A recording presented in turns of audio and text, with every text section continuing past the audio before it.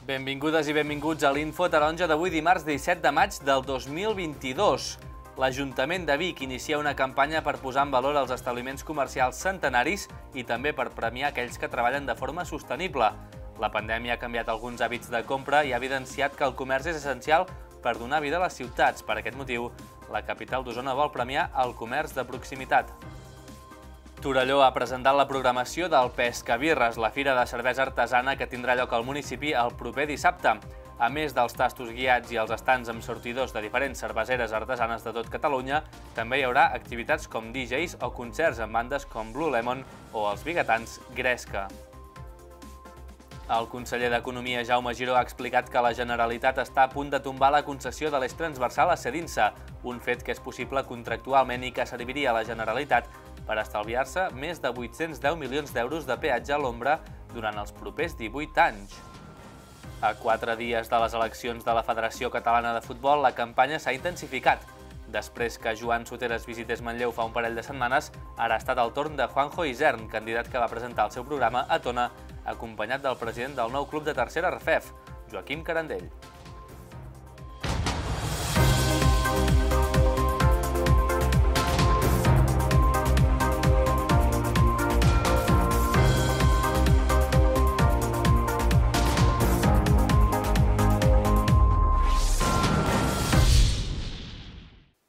L'Ajuntament de Vic vol premiar els establiments centenaris de la ciutat. Per aquest motiu, ha iniciat una campanya per tal de posar en valor el patrimoni i la història de cadascun d'ells. Els que ho vulguin podran formar part de la ruta dels emblemàtics de Catalunya. A més, l'Ajuntament també vol premiar totes aquelles botigues que apostin per un comerç sostenible i de proximitat. I és que la pandèmia ha posat de relleu la importància de tenir una ciutat viva a través del comerç de casa nostra. Vic inicia una campanya per posar en valor els establiments comercials centenaris i també per premiar aquells que treballen de forma sostenible.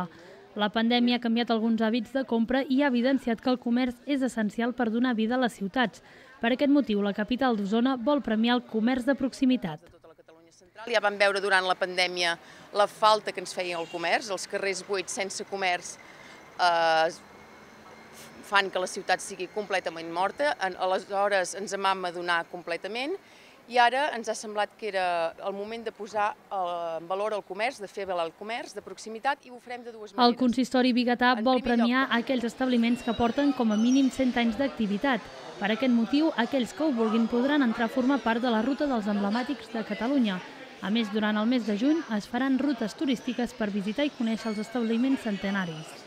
Es va posar en contacte amb nosaltres una gent que fan un, un web que es diu La Ruta dels Emblemàtics. Vam estar mirant com treballaven, com ho feien i on havien treballat. Vam veure que havien treballat a Barcelona, a Mataró, a Girona, a Figueres i Olot. I el que fan és que tenen un web en què distribuïts per ciutats destaquen aquells comerços històrics o emblemàtics que té cada ciutat. Van a fer-los una visita, parlen amb la persona que regenta el negoci i per tant expliquen la història del negoci, eh, fan fotografies i, a més a més, també fan un vídeo, un tour virtual, de manera que el ciutadà o ciutadana que s'hi interessi pot entrar al web i veure en cada ciutat quins comerços hi ha. I durant tot el mes de juny, el 4, l'11, el 18 i el 25, a les 11 del matí es faran visites gratuïtes per totes aquestes botigues. Es faran com dos recorreguts diferents, duren una hora i mitja, són gratuïtes i ho fan els guies turístics de la ciutat. Per altra banda, una trentena de comerços ja s'han adherit a la campanya de comerç sostenible i de proximitat impulsada per l'Ajuntament. Durant el mes de juny, aquelles persones que comprin en comerços amb distintiu de sostenibilitat entraran al sorteig de 5 carros de la compra. Què han de fer aquests, aquests, aquests comerços per adherir-se a la campanya? No poden utilitzar bosses de plàstic d'un sol ús. Han d'utilitzar eh, bosses compostables, han de facilitar la compra a granel, facilitar també l'envàs reutilitzable, és a dir, que acceptin carmanyola quan el client vagi a comprar, en el cas dels alimentaris, i un altre dels requisits podria ser premiar l'ús d'envasos de, reutilitzables. Si compleixen tres d'aquests requisits, què fem? Doncs els distingim amb aquest distintiu objectiu 0 i a més a més el que volem fer no només promocionar els comerços que són sostenibles, també volem premiar els consumidors? Doncs els consumidors que vagin a comprar en aquests comerços, en aquesta trentena de comerços que tenen ja el distintiu, eh, podran emplenar una butlleta i entraran en el sorteig de 5 carros de la compra. Això ho farem aquest mes de juny. La botiga Casa Blanca, situada al carrer Manlleu, és un dels establiments centenaris de la ciutat. El seu gerent, Carles Molist, destacava l'esforç de l'Ajuntament per crear un nucli comercial potent, un fet que també els ha obligat a mantenir la façana i la botiga sempre en bones condicions. I llavors tenim una ciutat molt, molt neta, molt endreçada, molt cuidada, que també això pel comerç ens és imprescindible i llavors amb això eh, et veus més animat també doncs, a, a, anar tirant endavant, a reformar la botiga. A Casa Blanca doncs, hem anat fent una evolució constant i actualitzar molt el producte, actualitzar molt el, el, la, la imatge de la botiga, exterior, interior. Hem recuperat molt mobiliari antic que s'ha fet servir doncs, per, per generar una nova imatge de la botiga i ha sigut tot eh, mobiliari recuperat de les, antibi, de les eh, etapes anteriors de, del negoci, doncs, taulells del meu avi de quan va començar, eh, i, i la imatge de la botiga actual és això, feta tota amb, amb mobiliari recuperat. A més de Casablanca, botigues com la llibreria Anglada, el Forn Sant Miquel o la rellotgeria Prat de la plaça Major, així com Can Solà, l'Òptica Comas o Can Bernoles, són alguns d'altres establiments centenaris de la ciutat de Vic.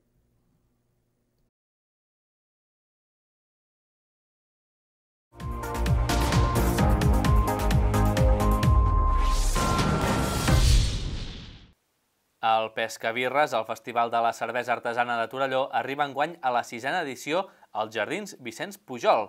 Enguany, després de la pandèmia, el Pescabirres proposa una gran modificació, amb un nou emplaçament a l'aire lliure on els visitants podran descobrir fins a 50 cerveses de 10 elaboradors diferents. A més de bona cervesa, també hi haurà food trucks, punxadiscs i concerts durant tota la tarda i fins al vespre. Aquest cap de setmana torna a Torelló el Pescabirres Festival de la Cervesa Artesana als Jardins Vicenç Pujol de forma presencial i amb la participació de 10 cerveseres, oferta gastronòmica amb food trucks i una variada programació d'actuacions musicals, tot plegat en un retorn a l'activitat després de dos anys de pandèmia. Estem contents de poder fer aquesta presentació perquè és una presentació d'un esdeveniment que es va consolidant en el calendari local, però que eh, a les últimes edicions, doncs, com totes les altres, no es va poder celebrar amb normalitat pel tema de, de la Covid i a més també per, per altres temes que, que intentem doncs, ara eh, recuperar i, i tornar a consolidar i, i a projectar endavant perquè pugui ser anual. La gran novetat d'enguany és el canvi d'ubicació en un espai ampli i a l'aire lliure. Sí, fer-ho a fora té aquest atractiu que, que dèiem de, dels jardins, jo crec que, que amb aquesta idea que portem des de l'Ajuntament de uh, ser aquest equipament de, de, de Torelló uh, molt més obert i, i poder-lo doncs, disfrutar molt més a la ciutadania amb tot d'activitats que hi encaixen, com aquesta, fa que també aquestes activitats mm, llueixin més. Jo crec que, que hosti, si ens imaginem aquí dissabte a les food trucks, una mica de bon temps, el, el vas de cervesa a la mà i xerrant amb amics és, és un panorama fantàstic. No?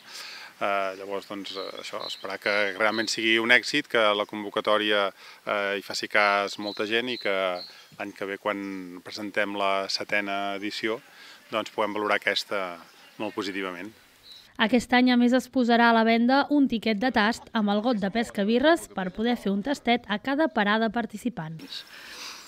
I llavors, una de les coses que hem mantingut aquest any és el tiquet de tast, que és una cosa que funciona molt bé, no? que és un, un tiquet on eh, per, per un preu d'uns 14 euros doncs, tens el teu got commemoratiu i a més a més pots fer un tast a cadascuna de les, de les cerveses participants. No?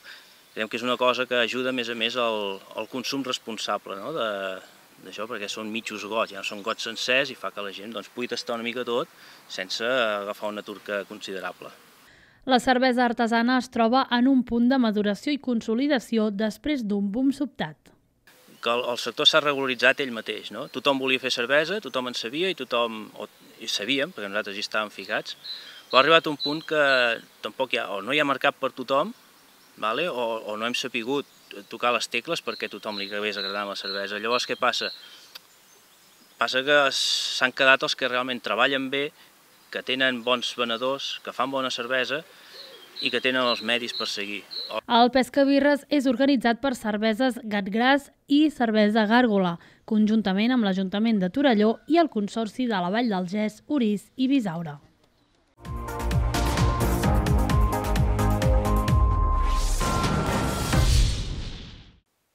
La gratuïtat de l'eix transversal pels conductors que hi circulen amaga el que s'anomena vulgarment com un peatge a l'ombra. La concessionària rep una xifra de diners en consonància amb el nombre de vehicles que hi passen, una despesa que assumeix la Generalitat. Aquest contracte firmat el, 2000, el 2007, però té diverses especificacions. Una d'elles és que la Generalitat el pot rescindir pagant una part de l'import total al cap d'uns quants anys. El 2022 és un d'aquests moments i la Generalitat el vol aprofitar. En cas que no es pogués, la següent finestra i l'última seria el 2027. La Generalitat de Catalunya ha activat una operació per avançar al final de la concessió de l'eix transversal. Cedinsa, que té la concessió, està cobrant el que s'anomena peatge a l'ombra des del 2017, que es va fer l'ampliació de la via. L'eix transversal és una de les vies que es coneixen com peatge a l'ombra. Peatge a l'ombra eh, vol dir que tu pagues en el concessionari en funció dels vehicles que passen i amb una tarifa concreta que tu poses per vehicle. El contracte d'aquest peatge a l'ombra, que al final eh, paguen totes les catalanes i catalans, i passin o no hi passin per l'eix transversal, eh, acaba l'any 40 a l'any 40. Fins l'any 40, si no fem res, estarem pagant en aquest fons d'inversió francès i mm, per tant nosaltres el que fem ara és avançar uns diners que estan al contracte. La Generalitat espera estalviar-se uns 810 milions d'euros si pot aconseguir tallar aquesta concessió. Malgrat que és una operació que es pot fer per contracte, des del govern asseguren que Cedinsa portarà la decisió als tribunals hi ha tres finestres d'oportunitat. La de l'any 22 diu 221 milions d'euros actualitzats des de eh, gener del 7, que comença la concessió, fins a l'any 40, amb un 5% anual. Eh? Un, un, un banc que es diu un banc, un banc, valor actiu net dels actius, acumulatiu de 5, de, del 5%. Llavors tu calcules això i et surt 221, passa a ser 482. 482 és el que hauríem de pagar en aquest grup inversor, menys 32 milions que ells deuen a la Generalitat. Total, 450 milions. Fet aquest pagament i fet el que el vicepresidència i territori ens ha dit que costa el manteniment d'aquesta infraestructura viària, comptant ja el manteniment i explotació, el eh, net són 810 milions. En cas que s'apliqui, el Departament de Vicepresidència prendrà la responsabilitat de l'eix des de l'1 de gener del 2023. La Generalitat també s'ha posat a estudiar si hi ha altres vies que tenen concessions amb clàusules de rescisió.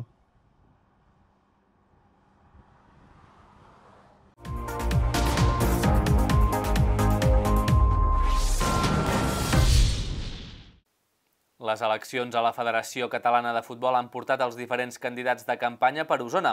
Aquest proper diumenge, els 42 clubs que tenen dret a vot a la comarca hauran d'escollir a quin candidat volen donar suport i, de moment, Joan Soteres i Juanjo Isern, que són els dos que estan més ben posicionats, han passat per la comarca per conèixer quines són les necessitats d'Osona i alhora demanar el vot als clubs. El candidat a la presidència de la Federació Catalana de Futbol, Juanjo Isern, va visitar aquest passat divendres la comarca d'Osona i el Moianès per presentar el projecte dels clubs i aficionats al futbol català. A l'Osona tenim una gran representació de presidents a la nostra llista electoral.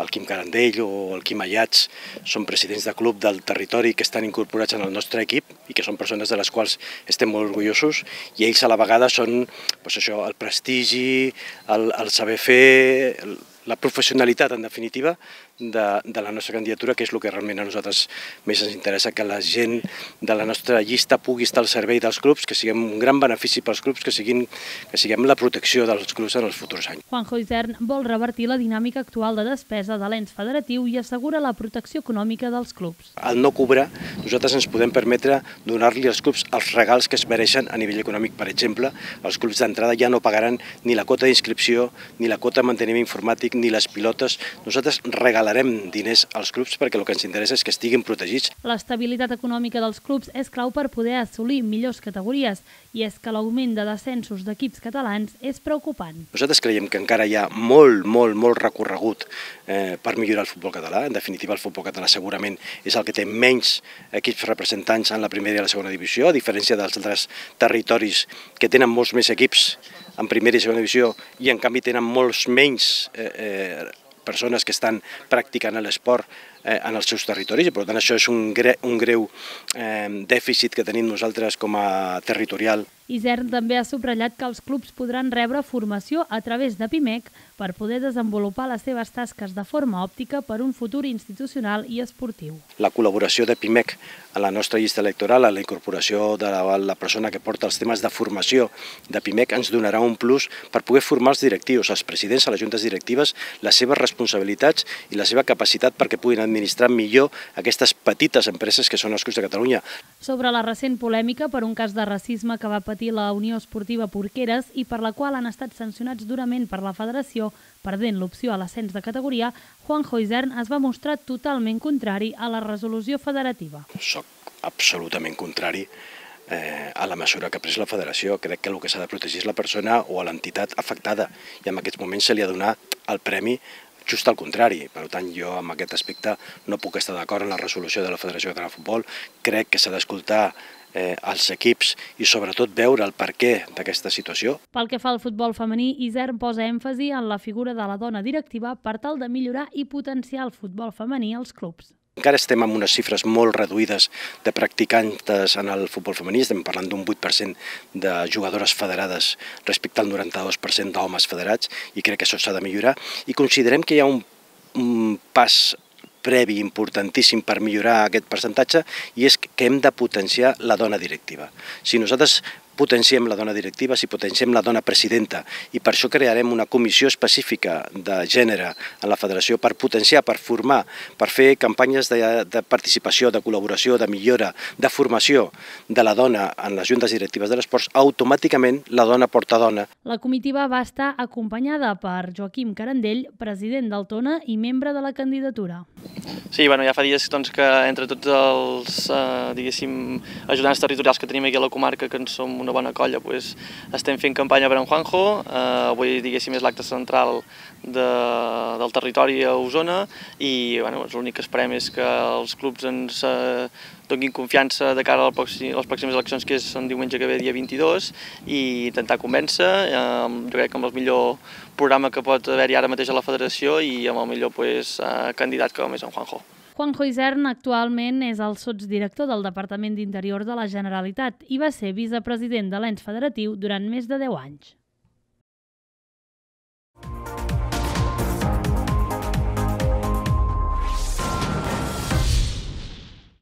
I fins aquí l'Info Taronja d'avui. Tot seguit us deixem amb la programació habitual de Canal Taronja Televisió. Després d'aquest informatiu, en Rubén Vázquez arriba amb el termòmetre i després serà el torn del Bada de Flors amb en Richard Teixidor, l'Òscar Garcia i en Gerard Presseguer. Nosaltres ho deixem aquí per avui. Com sempre, moltíssimes gràcies per la seva confiança i fins aviat.